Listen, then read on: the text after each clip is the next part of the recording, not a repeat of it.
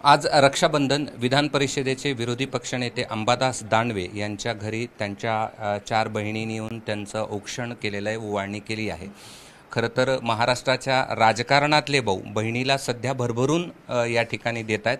दानवेंनी त्यांच्या बहिणींना नेमकं काय दिलं आहे आणि त्यांच्या काय अपेक्षा आहेत हे आपण त्यांच्याकडनं जाणून घेणार आहोत. राजकारणी प्रसन्न आहेत महाराष्ट्रातल्या लाडक्या बहिणींवर. तुम्ही आज आपल्या बहिणींना काय दिलं आहे वाटतं काही देण्यापेक्षा प्रेम देणं सगळ्यात महत्त्वाचं मला असं वाटतं. कारण जी बहीण किंवा जी भाऊ एकमेकाकडून काही अपेक्षा ठेवतच नसते अपेक्षा ठेवत नसते म्हणजे एकमेकाचं सुख एकमेकाचं समाधानातच त्यांचं सगळ्या काही मिळत असतं. आणि वाटतं तेच नातं आमचं आहे. त्यामुळं बाहेर जगात जे काही चालू असेल लाडकी बहीण वगैरे असं लाडकी म्हणून लाडकी होत नसते बहीण. वाटतं त्याला एक आंतरिक प्रेम आंतरिक ऊर्जा आंतरिक आपलेपणा तो लागत असतो. वाटतं तो आमच्यामध्ये आहे. बर. काय दिलंय लाडक्या भावाने तुम्हाला? तुमचा भाऊ श्रीमंत आहे का गरीब आहे? श्रीमंत आहे. मनाने हा? तसे पण श्रीमंत आहे मनाने पण श्रीमंत आहे खूप. बर. हो. मग काय दिलंय तुम्हाला आज भावाने? काय आता? गिफ्ट हातात आल्यावर कळ ना तर काय दिलं? काय सांगाल? काही नाही. आमची आम्हाला प्रेम भेटतं. दादा एवढं आमच्याविषयी बोलता. प्रेमाने ते खूप आहे आमच्यासाठी. आमचे ते कुटुंब प्रमुख आहे. ते प्रेमाने आम्हाला जे देईल ते आम्ही त्याच्यात समाधानी आहे. सांगाल गिफ्टपेक्षा आम्हाला सुख दुःखात सोबत असणं महत्वाचं आहे आमचा भाऊ. आम्हाला प्रेमच पाहिजे जास्त दुसरं काही लागत नाही. तर महाराष्ट्राच्या बहिणीला तर भरपूर राजकारणी देत आहेत आमचे भाऊ तसा पण देता ते तर आता झालं लाडकी बहीण. पण आम्ही तर आता वर्षानुवर्ष वर्ष म्हणजे समजा मी आता मला कळत समजा अडोतीस वर्षाची झाली असेल मी तर भाऊ सगळेच लाड करते. म्हणजे आठ होतच नाही. असं काही का मागितलं समजा तर ते मागायच्या आधीच देतात.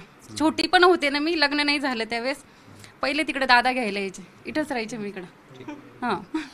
महाराष्ट्राच्या राजकारणात बहीण भावांचं नातं सध्या खूप महत्त्वाचं झालं आहे कारण की ओवाळणी म्हणून महाराष्ट्र शासनाने लाडक्या महाराष्ट्रातल्या बहिणींना भरपूरून आहे नाही काय हरकत नाही. दिलं पाहिजे. कारण शेवटी सरकार जे काही करतं त्याच्याविषयी काही विरोध असण्याचं काही कारण नाही आहे परंतु फक्त त्याच्यात स्वार्थ हेतून जर बहिणीला मदत करत असेल तर ती मला असं वाटत नाही ती बहीण लाडकी असते किंवा ती सुद्धा स्वीकारते.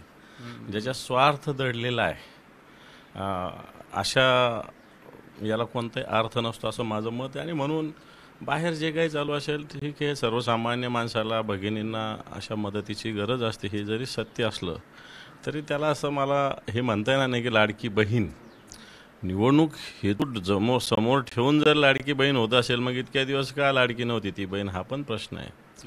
त्यामुळे मला असं वाटत नाही बाहेरच्या विषय जे असतात ते वेगळे असतात ते निवडणूक डोळ्यासमोर ठेवू नये प्रत्यक्षात लाडक्या बहिणीचं आणि लाडक्या भावाचं नातं वेगळंच असतं. पुढच्या भाऊबीजेला सरकारकडून लाडक्या बहिणीला आत्ता जी ओवाळणी मिळते ते मिळेल असं आपल्याला वाटतं. शंभर टक्के मिळेल जास्त मिळेल. जास्त मिळू शकते त्याला काय प्रॉब्लेम आहे? पुढची भाऊबीज ही हे निश्चित सरकार देईल? पुढची भाऊबीज ही निश्चित उद्धवजींच्या नेतृत्वाखाली या महाराष्ट्रात सरकार असेल. त्यामुळं मला असं वाटत नाही. लाडकी बहीण ठीक आहे या सरकारच्या योजनेचं स्वागत आहे. आम्ही काही विरोध करायचं काही कारण नाही आहे. कारण आज हा- हातावर पो भरणाऱ्या अनेक भगिनी आहे. ठीक आहे थोडासा प्रश्न त्याच्यातून मिटेल. परंतु पुढच्या वर्षी ज्यावेळेस रक्षाबंधन असेल त्यावेळेस या बहिणींची सुरक्षितता सगळ्यात महत्त्वाची आहे. आज लाखो बहिणी या महाराष्ट्रातल्या गायब आहे किडनॅपिंग आहे अन्याय अत्याचारानं पीडित आहे. मला असं वाटतं हे दीड हजार रुपये देण्यापेक्षा ते संरक्षण महत्त्वाचं आणि ते करण्यासाठी एक ताकद एक शक्ती लागते आणि ती निश्चित उद्धवजींच्या नेतृत्वाखाली आमच्यामध्ये राहील. बरं शेवटचा प्रश्न. पुढच्या भाऊबीजेला लाडका भाऊ कोण असेल? मीच. ठाकरे हां.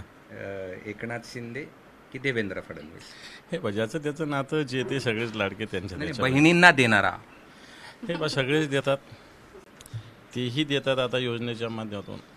पण मला असं वाटतं माझा मुद्दा तुमच्या लक्षात आला असेल की बहिणीला दोन रुपये देण्यापेक्षा त्या बहिणीचं संरक्षण महत्त्वाचं आहे का नाही हा मुद्दा आहे. आणि ते काम तर उद्योजीच करू माझा प्रश्न असा आहे की कोण लाडका भाऊ होईल महाराष्ट्राचा पुढचा भाऊबीजेला? हे बा मी काही ते बोलतात हा सावत्र तो लाडका असं मी मुळीच बोलणार नाही.